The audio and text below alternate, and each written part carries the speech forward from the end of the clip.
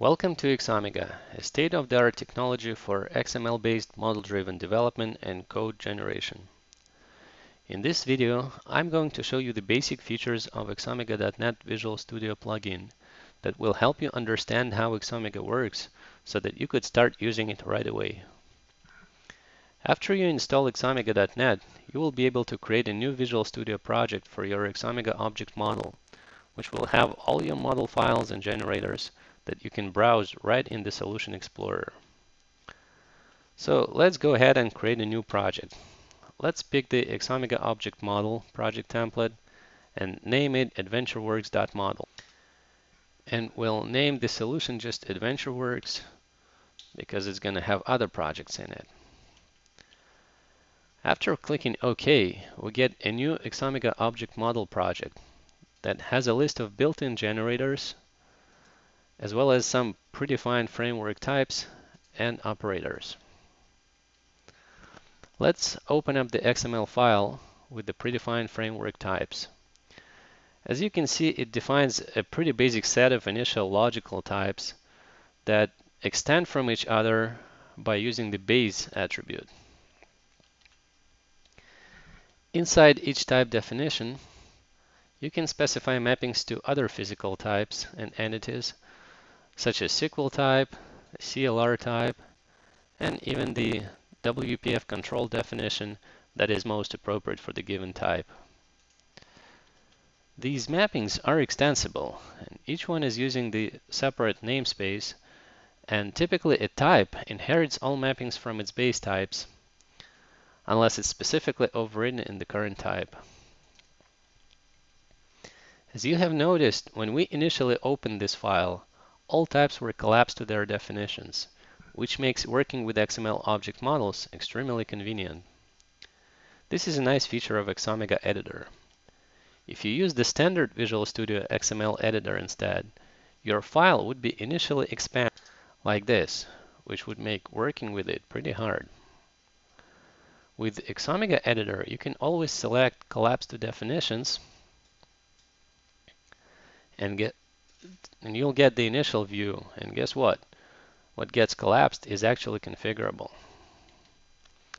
Let's create a new type called name that represents any name of up to 30 characters long. When we select the base type,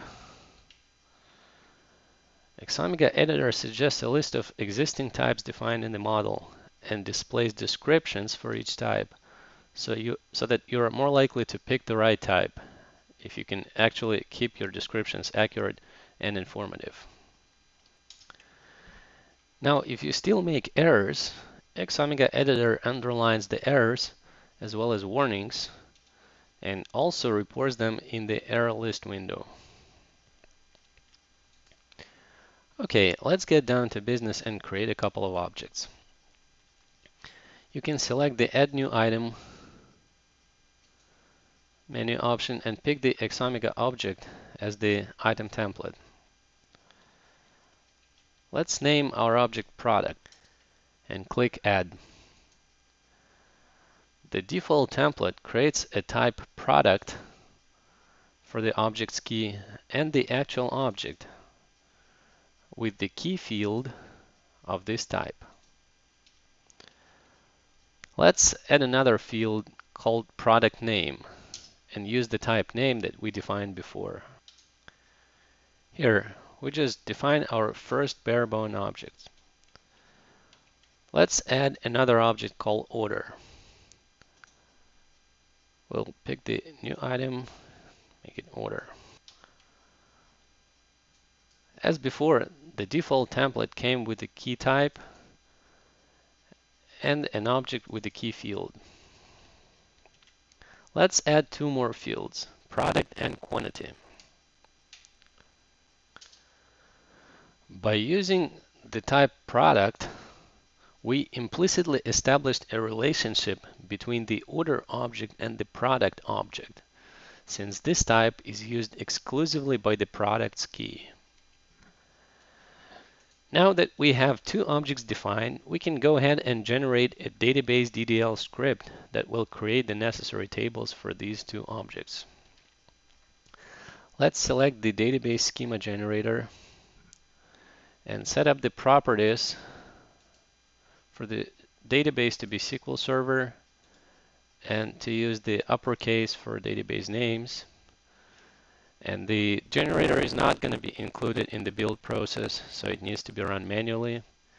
We can change the output path, but we'll just use the default one. Let's run the generator. The output window shows the progress as the generators run. Let's open up the generated script and review the generated DDL statements. The generated script is designed to be rerunnable, so it checks if the tables and other objects have already been created. As you can see, it creates the order table with the primary key, the product table with the primary key, and the foreign key relationship between the two tables. That's it. This concludes the introduction video to Xomega.net. In the following videos, we're going to show you how to import your initial model from a database and then enhance it to be able to generate a business layer based on an entity data model, a WCF-based service layer, and a WPF or Silverlight presentation layers. This will give you enough information so that you could start using Xomega to build high quality multi-tier application fast. Thank you for watching.